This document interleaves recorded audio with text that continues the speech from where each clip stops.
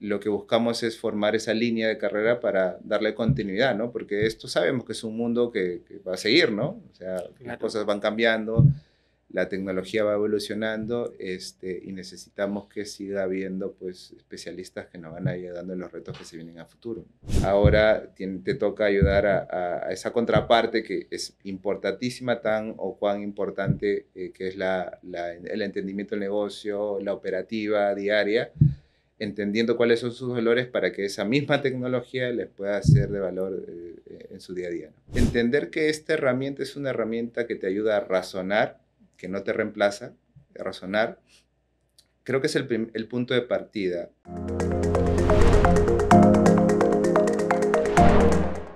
Hola a todos, el día de hoy tenemos a un gran invitado. Él es Diego Benavides, actualmente gerente de servicios de arquitectura de datos en mi banco. Bienvenido, Diego. Gracias, Johnny, gracias por la invitación. Diego, eh, queríamos conversar un poco sobre tu historia, cómo te has desempeñado en este mundo de, la data. Cuéntanos un poco sobre tus inicios. Eh, has estudiado eh, Computer Science y has tenido una larga trayectoria en el mundo de la data. Has pasado por varias empresas de consultoría, también eres docente. Cuéntanos un poco cómo iniciaste en el mundo de la data. Sí, bueno, yo no estudié Computer Science, estudié una carrera que todavía sigue siendo un poco este, debatida en algunos foros, que se llama computación científica. Computación científica. Que es, eh, yo para no entrar en los debates, porque en algún momento sí estuve metido en varios debates definiendo un poco qué es, eh, yo con el tiempo este, eh, lo entendí como matemática aplicada, ¿ok? Nos dan mucho contenido, matemática pura, este, análisis real, funcional, este, y también mucho contenido de ingeniería de software, ingeniería de sistemas, que nos sirve a nosotros para nuestro objetivo, que es simular eh, fenómenos en general. Este, la ventaja que yo encontré en esta carrera, este, uno, que eh, juntaba dos cosas que me gustaban desde muy pequeño, que son las matemáticas y las computadoras. Entonces, este, le vi un poco de ventaja, como cualquier papá, mi papá eh, al ver que yo era muy bueno en matemáticas, intentó que yo sea ingeniero de la uni, evidentemente. Pero honestamente, eh, respetando mucho porque me gusta, tengo colegas en la uni, este, profesionales, estuve, estuve en la CEPRE Uni también, este, y me gusta el ambiente. Eh, la ingeniería nunca fue algo que me llamara en ese momento la atención, sino más la ciencia. Entonces, eh, en esta carrera lo que uno tiene como ventaja al final, en las últimas etapas, es que uno puede elegir a dónde este, aplicarla. Exacto. y yo comencé a, interesarme mucho en la inteligencia artificial. De hecho, en mi segundo semestre, este, y por amigos de la Universidad Vecina Católica, atendí a un evento grande de la primera generación, creo, del grupo IAPU, creo que sí lo conocen en el, en el, en el medio, ahora dirigidos por el profesor César Bertrán, pero en ese entonces eran dirigidos por el profesor Manuel Tupia. Me invitaron y de verdad tengo amigos de, de esa promoción. Este, quedé fascinado con la inteligencia artificial a nivel ciencia. Este, el profesor Tupia tenía, recuerdo, un libro naranja, seguramente algunos de, de, los que nos oyen lo, lo, podrán recordar, en donde había, hablaban de algoritmos de, de hormigas, de palomas, y cómo ellos lo aplicaban en ese momento para entrenar videojuegos, pero con inteligencia artificial, y también se hablaba de traductores. Entonces, yo creo que ese fue un, un evento importante en, en, mi vida académica que decidió un poco el rumbo de mi vida con, con, con la analítica avanzada, la inteligencia artificial, y me fui metiendo ya en la parte teórica de los modelos matemáticas que sustentan un poco la parte teórica de, de ellos, ¿no? Así fue como que pasaste, digamos que desde el segundo o tercer año de la universidad a orientarte mucho más por la inteligencia artificial, los modelos que están detrás de la inteligencia artificial. Y, y, luego cuéntanos cómo así pasaste de, de, una, digamos que de una orientación científica hacia ya una aplicación, digamos que más, más, más hacia el lado de empresarial, corporativo. Sí, eso, eso fue un reto. Eh, yo creo que el gap que tenemos en, en, en, algunas carreras de ciencias básicas, le conocemos, ¿no? matemática, investigación de operaciones, estadística, es que eh, en el país no encontramos el nexo directo con, este, salvo excepciones como la católica, que es una universidad que sí lo tiene bien, bien arraigado, el nexo con la industria. Yo en mi vida profesional, antes de inclusive de terminar la, la universidad, eh, mis primeros trabajos fueron de desarrollador. Nos, en, el, en la carrera que yo tomé, eh, nos enseñaban cursos de, de, ingeniería de software, ingeniería de sistemas, eh, lo que me permitió meterme al mundo de, de, desarrollo. Y siempre estuve involucrado con el diseño de base de datos, migraciones de bases de datos desde, muy, desde, desde los primeros años de, practicante o, o, desarrollador. De hecho, mi primera experiencia fue en la misma biblioteca de mi facultad, migrando un antiguo este, sistema de bibliotecas a una base de datos MySQL. Entonces, eh, en la parte académica iba fortaleciendo mi conocimiento en, en, los modelos de analítica avanzada de Machine Learning, pero me iba introduciendo ya un poco a la, a la industria por el lado de desarrollo. ¿no? Mi primera este, trabajo de la alta industria fue para una consultora eh, pequeña, ¿no? De peruana, eh, que brindaba servicios para Telefónica del Perú. Este, y ya desde ese entonces lidiaba yo con grandes volúmenes de datos. Uh, no sé si, este, bueno, saben seguramente que la industria de telecomunicaciones es la que realmente maneja Big Data. Eh, claro, es la que maneja. Sí, volúmenes por todo lo que son las interacciones, sobre todo con el, la salida del Internet, que antes era solamente llamadas, mensajes el Internet ha gatillado un gran número de, eventos, ¿no? volúmenes eh, grandes de información. Y en ese tiempo, en esta consultora, ya lidiábamos con problemas de Big Data, con tecnología, por decirlo así, a bajo nivel. ¿Qué quiero decir a bajo nivel? Desarrollábamos en lenguajes como C, C++. No había todavía el boom de, de Hadoop ni Spark ya entraba un poco, ¿no? Como open source, pero nosotros para la gran industria lo desarrollábamos, pues, este, cosas en tiempo real, eventos con, con C puro, ¿no? Entonces, eh, ya iba como un poco este, acercándome a la industria por el lado de desarrollo. Llegué a ser este, arquitecto de soluciones para, para igual la consultora, para soluciones de telefónica.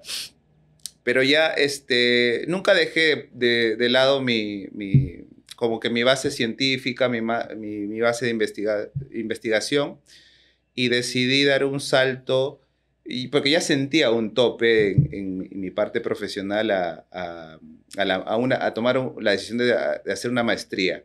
En mi facultad, en la Facultad de Ciencias Matemáticas de San Marcos, nos motivan mucho, o sea, dependiendo de tu orientador también, pero este, los mejores te motivan a irte afuera a hacer maestría, ¿ok? Claro un hito grande de, de, mi vida profesional creo que fue animarme a, a hacer una maestría en, en Brasil, eh, pese a que quería irme a, Francia, de hecho, pero este, la vida pues te va, te, va, te va poniendo caminos y tú tienes que tomar decisiones. Y yo en ese momento que, que tomé la decisión, este, ya tenía, acababa de cumplir un año mi hijo, Así que decidí irme, sí, fuera del país, pero este, cerca, ¿no? A Brasil, al, al, país vecino. Complicado, pues, ¿no? Una decisión muy difícil.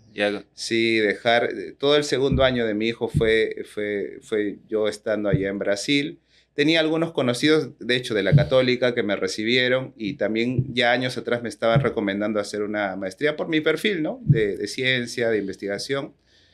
Este, decido tomar la la maestría en la Universidad de, Brasilia de sistemas mecatrónicos, ¿ok? este, buscando un poco la aplicación de toda esa teoría que había aprendido en, la Facultad de Matemáticas, aplicarla en, algún lado de, la, este, de la robótica, de, la inteligencia artificial aplicada a los robots y justo llegando en el, en, el momento en que las eh, deep learnings, las redes neuronales profundas, comenzaban a, a, tener sus primeras arquitecturas y demás.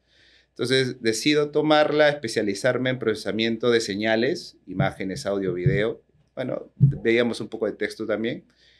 Y di ese paso, ¿no? Me contacté con algunos profesores de allá, decidí por mi orientador y la verdad es que eso este, fue un hito importante en mi vida profesional. No fue difícil, fue, fue, diré, fue totalmente difícil dejar a mi familia, ¿no? Este, pese a que venía eh, ahí en Navidad, además, este, llevarla, un país nuevo, es una cultura totalmente diferente la, la, la de los amigos brasileños, pero creo que este, me permitió madurar personalmente y también cubrir esa parte que sentía que, que, que estaba por crecer en, en, mi parte académica y profesional. Excelente. ahí y luego de la maestría regresaste a, a Perú, estuviste tiempo en, en, en, Brasil. Sí, estuve un poco más de un año ahí. Este, logré convencer a, al director académico y a mi orientador de poder cerrar mi disertación, ¿no? que es la tesis que, que el Estado brasileño, eh, digamos, eh, tiene, eh, tú tienes el compromiso de hacerla para ellos, eh, con la condición también de que hagas un artículo publicado en un evento internacional.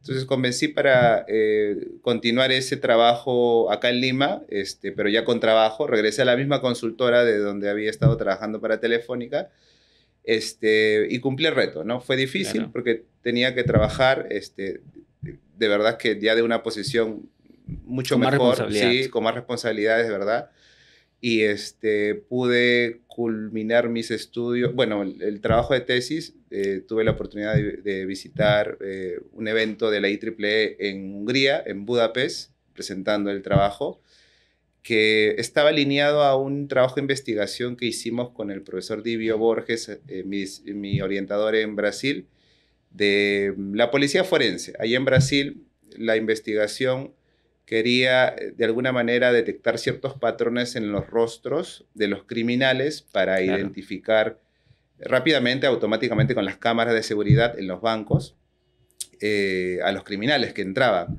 Allá la criminalidad es eh, más agresiva, eh, honestamente. De hecho, hay paredes blindadas, ¿no? este, soldados en los bancos y no ingresas como aquí en Lima, que ingresas a un banco sin que te hagan ningún tipo de... Solo hay un vigilante acá y entras, ¿no? Allá sí tenías que dejar tus cosas por, por una pared blindada y recogerlas por el otro extremo. Entonces ellos tienen un nivel de criminalidad más agresivo, diría yo, y, y los bancos como que buscaban la forma automática, con imágenes, ¿no? Con deep learning, de, de hacer una detección oportuna. Entonces me introduje en, en ese mundo lo publicamos este, y di por culminado, ¿no? Tuve que ir una vez más a, a Brasilia a defender ya la tesis, ¿no? Un jurado y, terminé esa etapa muy bonita de mi vida académica. Interesante. ¿Qué, qué tan replicable, ahí hablando de temas de seguridad justamente, es eh, tener esa, esa tecnología que, has, que desarrollaste aquí en Perú? Sí, o sea, hemos aplicado. Yo regresé, eso, estoy hablando de 2014, 2015 regresé para Lima. Este, estuve trabajando otro tiempo más, un año, un año y medio en telecomunicaciones. Me di un, no, una vuelta por Verizon, que es una software factory que estaba por aquí en Perú, pero me parece que ya no está. Y de ahí me, me convocó el BCP para el, este, en ese entonces, Centro de Excelencia Big Data, dirigido por Marcelo Almeida, Eric Jaramillo. Eh, estaban, el BCP en su, en su proceso de transformación comenzó a, generar hubs de investigación.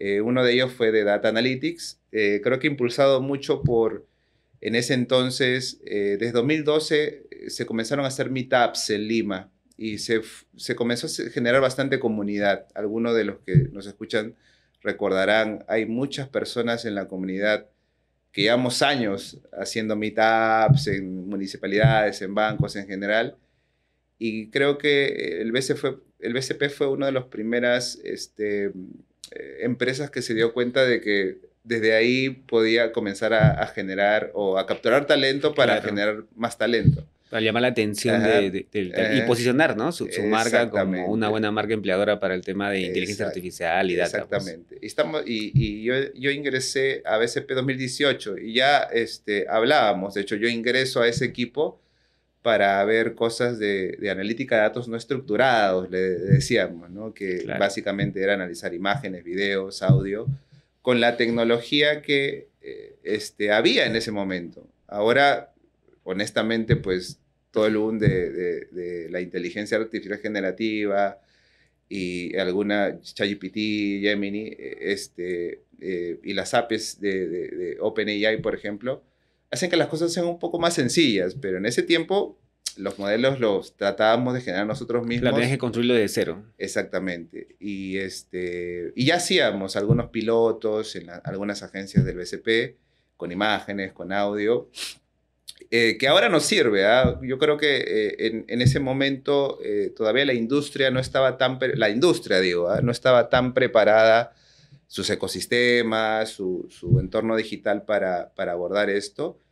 Y y como que los, los pilotos, los resultados eran buenos, pero no, eran escala, no se podían escalar tan sencillo sin hacer una inversión significativa y lamentablemente en ese momento no había como que una identificación de un impacto este, notorio, lo significativo para el negocio. Así que se quedaron ahí, pero creo que se formó bastante experiencia con varios de los que participamos en ese entonces.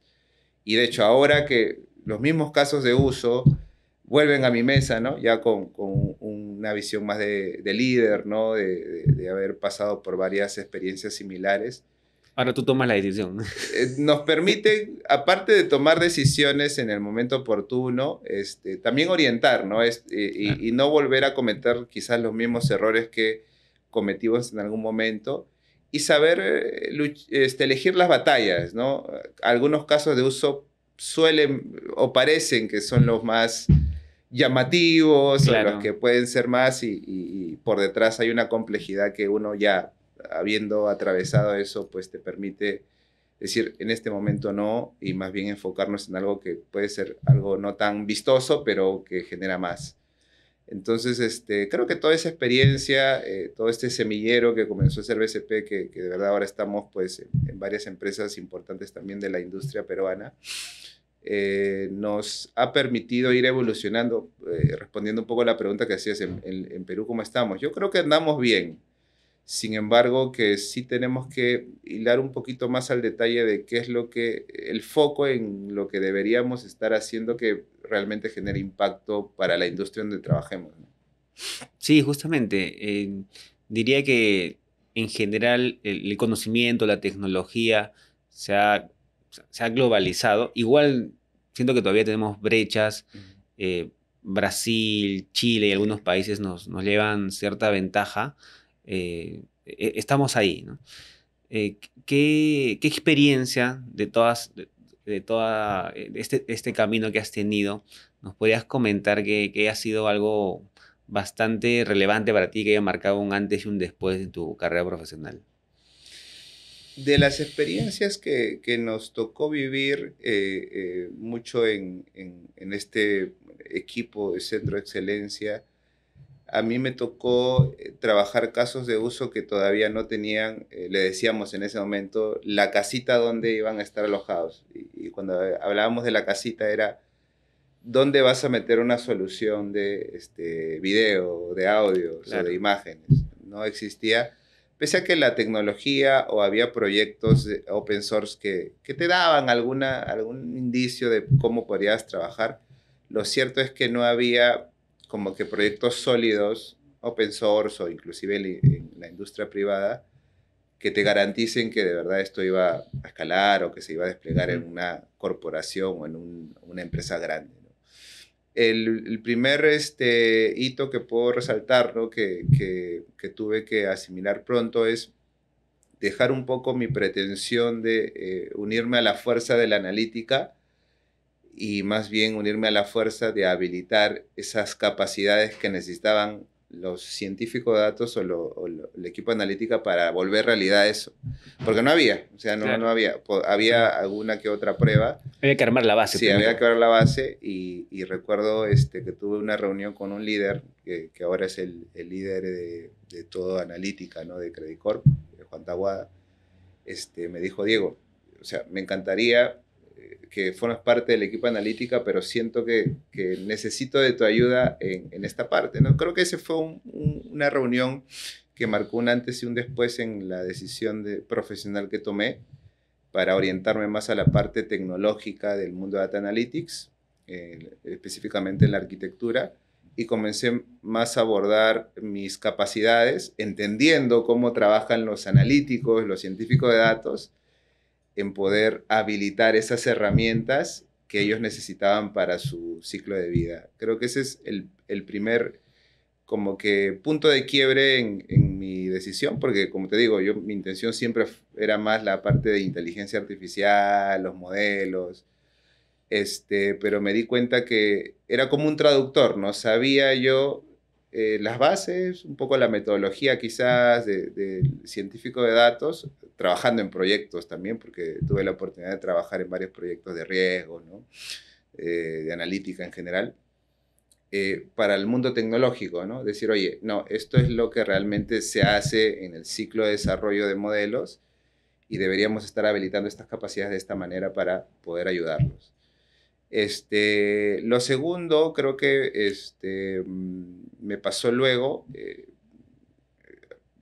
ya en Belcor, porque yo estuve eh, un poco más de un año también en, en Belcor eh, ayudando en la parte de la plataforma de datos en la nube.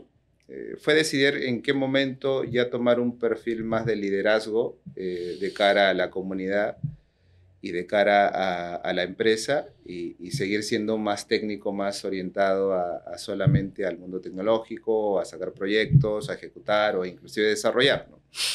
Este, y me, me, decidí por ya tomar la batuta de un equipo por completo para, para ayudarlos con esta experiencia, eh, seguir formando, ¿no? Como en el que momento el BCP decidió formar a la, a la siguiente generación de líderes en Data Analytics, comenzar a formar a gente también de, de, lo más básico para que continúe un poco la, la, la, o tome la batuta para comenzar a liderar a la siguiente generación. Eh, a veces nos enfocamos y, y, creo que, que haber pasado o tener un perfil más técnico te permite darte cuenta de que nos encerramos en ese mundo más técnico que, que no necesariamente piensa en, en la generación de valor, este, y eso te, te puede cegar un poco. ¿okay? Te, tiene, te, es más pasión por la tecnología, por la inteligencia artificial eh, que te mueve que el valor en sí. Entonces hay que encontrar ese equilibrio. Eh, me, me, decidí a, tomar mi primera gerencia ¿no? Eh, de equipo, de, de, área, para poder comenzar a, a, poco a poco, ¿no? entendiendo, ser, siendo empático con, con los perfiles eh, eh, en esa cancha, darles poco a poco esa traducción o ese, esa transición a un mundo más orientado a la generación de valor. Eso fue en, Belcor, ¿no? Sí, en Belcor y, luego me tocó este, liderar ahí un equipo regional eh, en mi anterior este, experiencia laboral, que es Telefónica Hispan, que es el corporativo de Telefónica para ocho países, ¿no? Desde México hasta Chile, pasando por Perú. Eh, ya liderando un equipo eh, regional y también en, en, cada una de las operaciones. Este, mucho de lo aprendido, centros de excelencia, especializaciones por arquitectura, ingeniería y sus líneas de carrera son los que este, nos preocupa ahora, ¿no? Yo como líder este, referente en el lado de arquitectura en mi banco, lo que buscamos es formar esa línea de carrera para darle continuidad, ¿no? Porque esto sabemos que es un mundo que, que va a seguir, ¿no? O sea, claro. las cosas van cambiando, la tecnología va evolucionando este, y necesitamos que siga habiendo pues, especialistas que nos van ayudando en los retos que se vienen a futuro.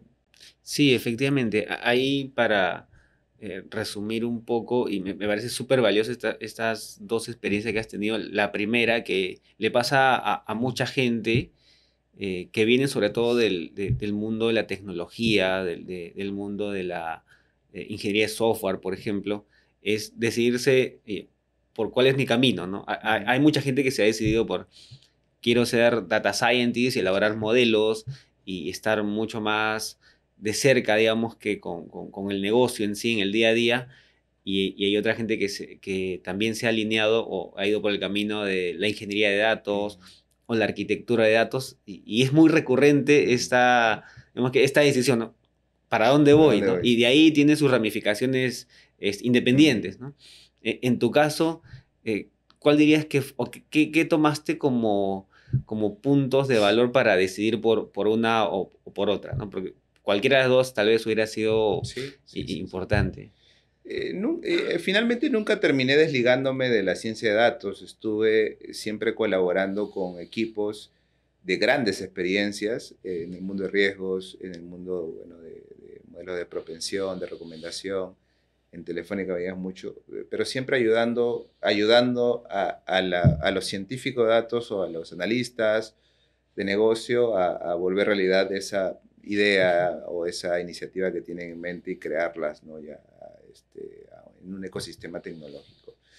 Yo creo que lo que me impulsó más fue, tengo un perfil mucho de, orientado a ayudar a las personas, dentro de la empresa evidentemente a mis colegas o a, la gente de mi equipo, pero de cara a la comunidad, este, y creo que muchos de los que me conocen en el medio no podrán negar que siempre tengo que, estoy ahí buscando cómo seguir colaborando con, con, la universidad, con las comunidades, yendo a dar talleres o dando casos de uso para que los jóvenes comiencen a aprender cómo es que se aplica todo eso que están aprendiendo en la comunidad. Entonces, yo creo que cuando hablamos de la decisión de, irme a armar esta casita, ¿no? De cara a, que los científicos de datos o los analistas tengan este ecosistema, fue para eso, ¿no? Oye, yo, yo que conozco un poco de su mundo, puedo ayudarlos a construir eso y, viéndolo desde el punto de vista netamente profesional, me di cuenta que era una oportunidad para mí, ¿no? Es decir, oye, son pocos los que tienen ese perfil ambidiestro, ¿no? Oye, claro. este, sabes un poco de, ciencia de datos, ¿no? Eh, de repente no tanto como los seniors, ¿no? Pero sabes, entonces eso te va a permitir entender bien cuáles son las necesidades para que les puedas ir habilitando esas capacidades que necesitan, ¿no? Eso fue lo que... Es una, fue una apuesta también. Creo que no me equivoqué este, me permitió posicionarme muy bien con el conocimiento que tengo, este, teórico, ¿no? lo más fundacional de la matemática, que hasta ahora me permite comunicarme en ese mundo bien. Y ahora estoy mucho explotando o, acercándome más a, entender al negocio. ¿no? Ya entendí un poco la, el mundo de, de, la data desde un punto de vista muy técnico quizás, y me estoy acercando, como te dije hace un momento, a la, al enfoque de generación de valor. Y para generar valor dentro de una industria tienes que entender el negocio donde estás trabajando. Así que estos últimos años estoy muy metido ahí y, seguramente la vocación que tengo de servicio la estoy orientando, mejor dicho, a eso, ¿no? Ahora, ayudaste ya a tus amigos que viven en el mundo de lo más técnico, en la ciencia, en, en los datos, en la analítica avanzada ahora te, toca ayudar a, esa contraparte que es importantísima tan o cuán importante eh, que es la, el entendimiento del negocio, la operativa diaria, entendiendo cuáles son sus valores para que esa misma tecnología les pueda ser de valor eh, en su día a día. Interesante, interesante lo que comentas. Básicamente, o sea, me, me gustan dos ideas que comentaste. Una que es eh, e, esa esa habilidad de habilitar, justamente, de servir hacia, hacia los equipos. Y la otra, pues, este, evaluar bien, bien las fortalezas, ¿no? Entonces, creo que eso es súper importante para poder tomar este tipo de, decisiones. Y, comentabas también acerca de eh, liderar estos equipos. ¿Qué, qué, retos eh, crees que son los más relevantes eh, en liderar equipos de, data y, analytics en general. ¿no? Son equipos bastante especiales, digamos. Sí, yo creo que este, hay que diferenciar los equipos a los que nosotros queremos este, enfocar en la innovación, en comenzar a, innovar, a ser disruptivos, a transformar eh, el status quo, y a los, a los equipos que nos ayudan a mantener ¿no? a, la operativa, a, seguir con el día a día, el, business as usual. Eh, no digo que uno sea más importante que el otro. ¿eh? Yo lo que planteo y está basado en, experiencias de, grandes industrias como Netflix. Este, hay un libro, este, Rule No Rules, creo que es del CEO de Netflix, eh, que, lo compartimos, lo leímos bajo recomendación de, del líder de, tecnología de, Belcor, ¿no? este, Venkat, eh, y el equipo con el que trabajaba ahí, em, fue que la innovación ocurre en un contexto eh, fuera del caos del día a día. O sea, si a este equipo de innovación tú lo introduces a la operativa, pues va a ser difícil que genere nuevas cosas. Entonces, para formar equipos hay que identificar los perfiles y el contexto donde queremos que se desarrollen y, y crear, si no existe ese contexto, crearlos. Y no solamente estoy hablando de herramientas, sino este, ese clima, esa identidad como tal, y ayudarlos a, eh, evidentemente, eh, este, seleccionar las iniciativas o los casos de uso donde nos vamos a enfocar.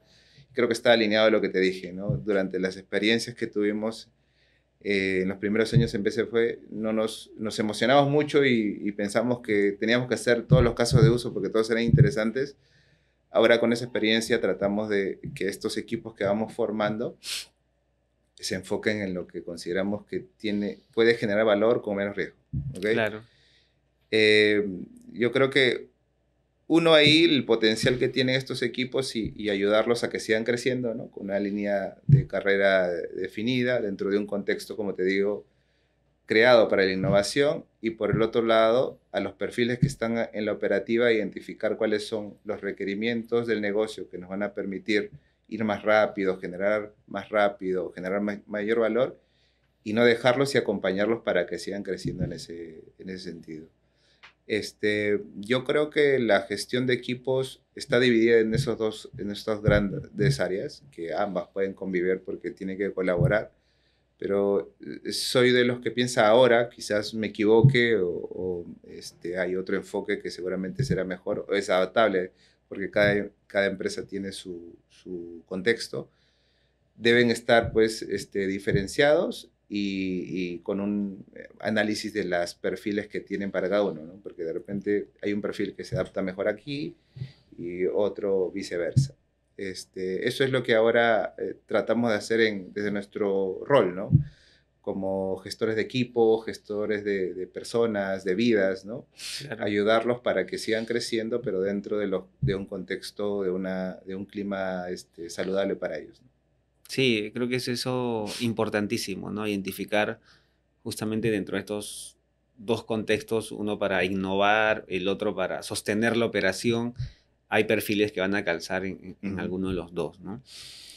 Eh, y viendo justamente con estas nuevas tendencia, la tecnología que cambia constantemente. Hace cinco años tal vez no nos hubiéramos imaginado que ya, tendríamos pues eh, una inteligencia artificial generativa. Este, ¿qué, ¿Qué avisoras en los próximos años eh, de cara al rol de, un profesional en Data Analytics? ¿Qué es lo que se nos viene? ¿Qué, eh, qué podríamos vaticinar en, en el aspecto del, del trabajo o, del rol en general de Data Analytics? Dentro de mi rol como, como este innovador de datos, ¿no? Eh, en, el, en la línea de inteligencia artificial, bastante, bastante años de, de, los que puedo aparentar en mi rol actual. Este, eh, sí he tratado de entender un poco cuál es la diferencia de hace cinco años actualmente. Eh, estuve reunido este, este, año con, tuve la oportunidad de asistir a un evento en San Francisco y, estuve por Silicon Valley con Microsoft y hablamos con un experto ¿no? de todo este boom de inteligencia artificial generativa. Este, yo dentro de mi contexto teórico le hacía preguntas un poco para entender cuál es la diferencia, ¿no? Oye, de cuál es la diferencia entre lo que veíamos hace cinco años con lo actual. Y me lo explicó de una manera que sí me hizo reflexionar, ¿no? Me dijo, Diego, la diferencia sí, al, al, margen del, del, enfoque, ¿no? Porque hay unos modelos ahora que se ponen adelante de las redes neuronales y, demás, ¿no? Que podríamos este, detallar mucho, pero creo que no, no es el enfoque ahorita. Es, todo ahora es tokenizable, me decía. Todo tú puedes tokenizar, tokens son palabras, ¿no? Todo lo puedes volver a texto, tokens. imaginemos, ¿no? Para aquellos que no, son más técnicos, todo lo puedes llevar a palabras. Una imagen lo puedes llevar a palabras, es decir, los modelos te permiten actualmente eh, este, explicar qué hay en una imagen y describírtela en palabras. El audio lo puedes transcribir, el texto sigue siendo texto. En general. Todo es tokenizable. Y esto, sin que nos hayamos dado cuenta, es una herramienta poderosa, me dijo. O sea, antes teníamos que hacer un montón de cosas para teníamos analítica de audio, teníamos analítica de, video, teníamos ya la analítica de texto y, entre otras, de ondas, ¿no? En la, parte de audios, ¿no? Pero ahora todo es texto, ¿no? Todo es texto. Ya tradujimos todo a un idioma universal. Claro. Y ahora también tenemos la herramienta para hacer análisis cognitivo de, de esta traducción. Imagínate las posibilidades, así me lo dijo, ¿no? Y ahí es donde eh, entendí específicamente que hay un mundo de posibilidades que antes estaban, hace cinco años te digo, que, trabajamos esto, era un poco más costoso hacer un modelo de análisis de audio, de video como tal. Ahora todo es solamente llevado al mundo del análisis cognitivo de texto. Este, yo creo que sí tenemos que reflexionar todos, no solamente los que estamos en el mundo de Data Analytics, creo que nosotros tenemos un poquito más de ventaja porque hemos visto un poco este cambio, sino todos en cuál es el valor real para nosotros mismos, sin ir a la industria todavía, que tiene este potencial tecnológico para nosotros en nuestro día a día. Creo que no lo estamos entendiendo como persona natural, digo, ¿eh? todavía. Este, hoy día mismo en el almuerzo hablaba con una colega, abogada ella, seguro se va a reír si, ve este podcast. Este, y le explicaba, oye, tú en, en, la parte de leyes hay un montón de aplicación, le decía, ¿no? Y me hacía preguntas, ¿y qué puedo hacer? Y yo le decía, oye, tú puedes hacer análisis de esto con esto. ¿Se puede hacer eso? Me decía. Sí, tú solamente introduces la información. Cosas cosa que para nosotros pueden ser súper básicas. O sea, para, para, el común de la gente puede ser, oye, esto de acá es el futuro, esto solamente lo vi en películas. Exactamente.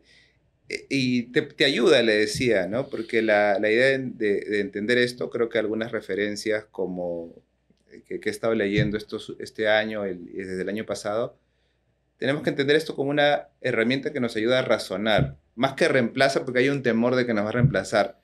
Creo que nos, encontramos, nos, enfocamos más en el, temor de esto en que en real valor. Y, es una herramienta que nos, nos ayuda a razonar nuestro día a día.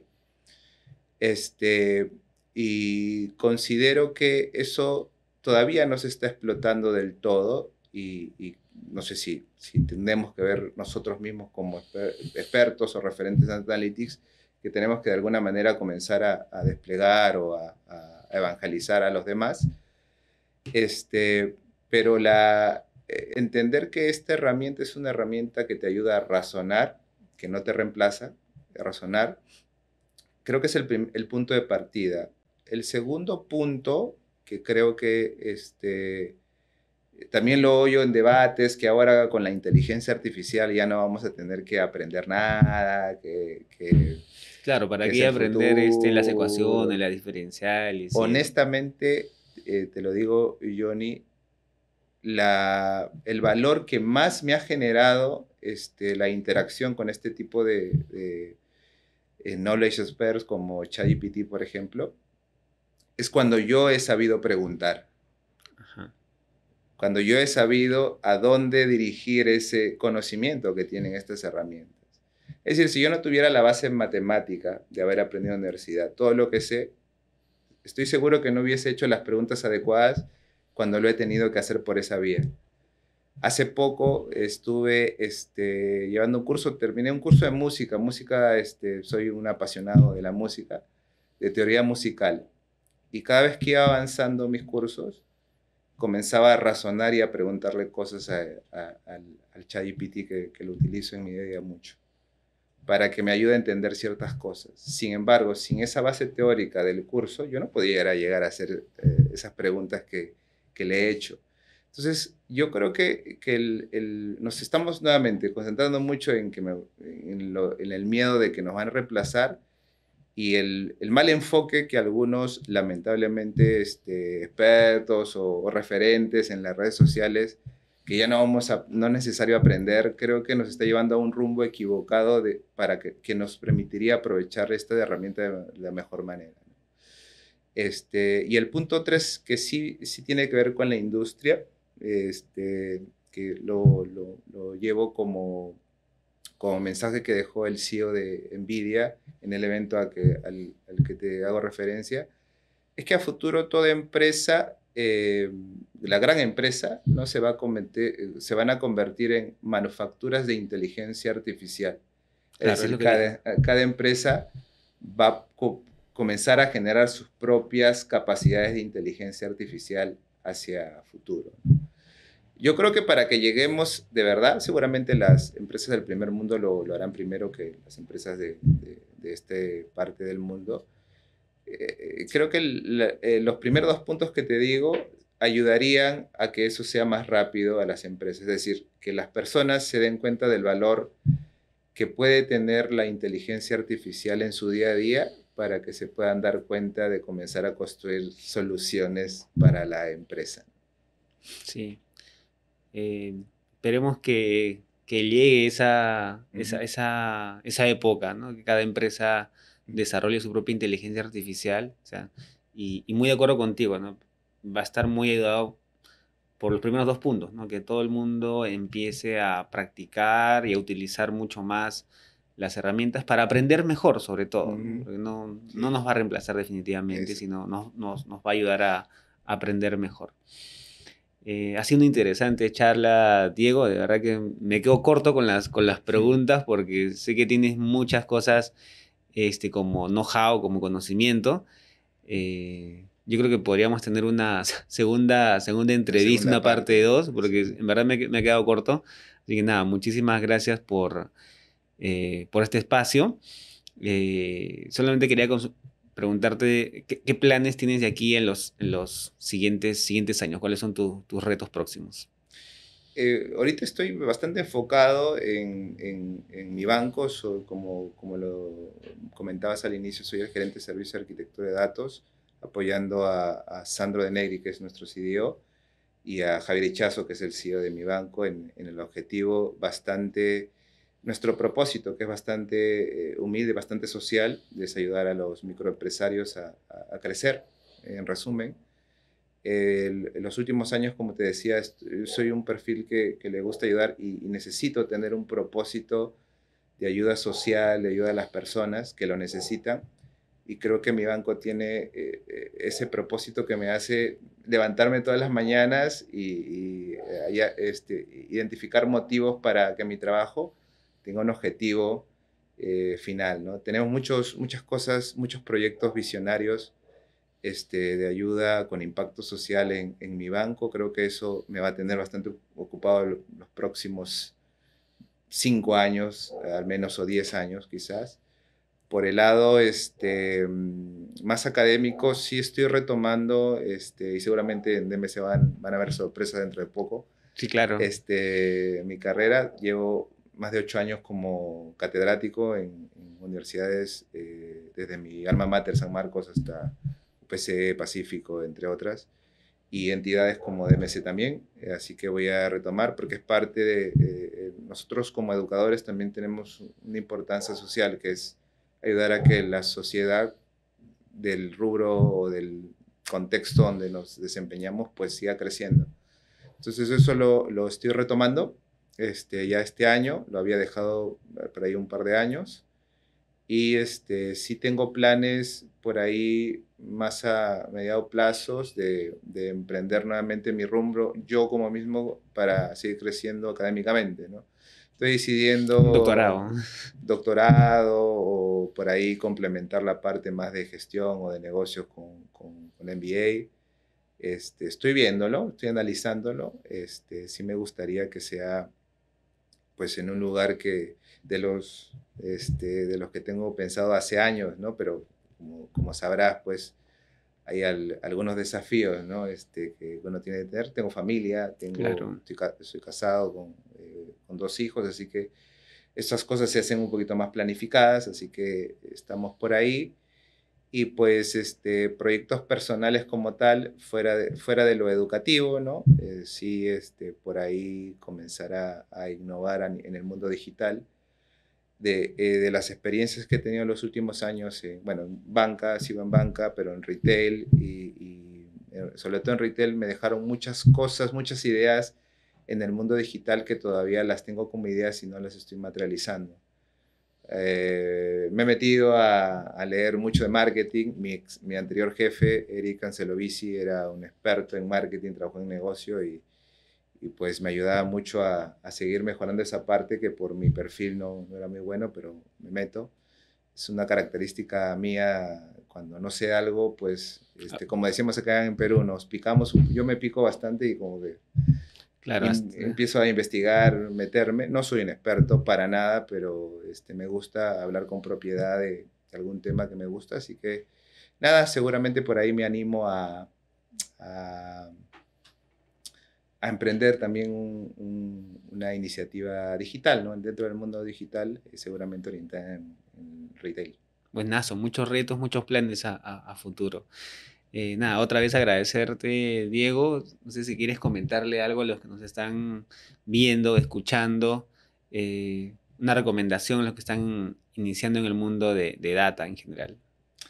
La recomendación es que este, eh, mantengan su conocimiento si es que son más de la parte técnica. Hablo de la ciencia de datos, de la analítica, de la arquitectura, de la ingeniería, eh, tengan una base sólida del conocimiento a donde se están dirigiendo, sirve.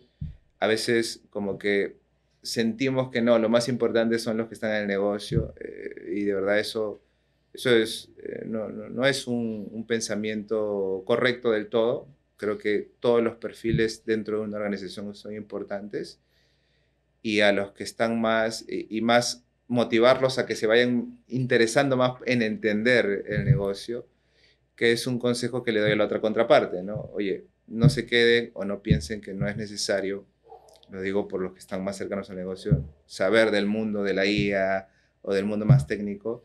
Siempre hay que tener curiosidad de, ver este mundo que es muy interesante. Hay, hay de todo, por aquí hay abogados, tú, tú Johnny, sabes, ¿no? Abogados, gente de letras que se metió a la IA y, ha quedado fascinada, este, no solamente para su trabajo como tal, sino para su vida misma. Creo que con todo el cambio digital y con lo que se viene en, eh, los próximos años, es, es necesario meterse, eh, no volverse experto seguramente, pero sí meterse poco a poco. ¿no? Ese es mi consejo para los jóvenes.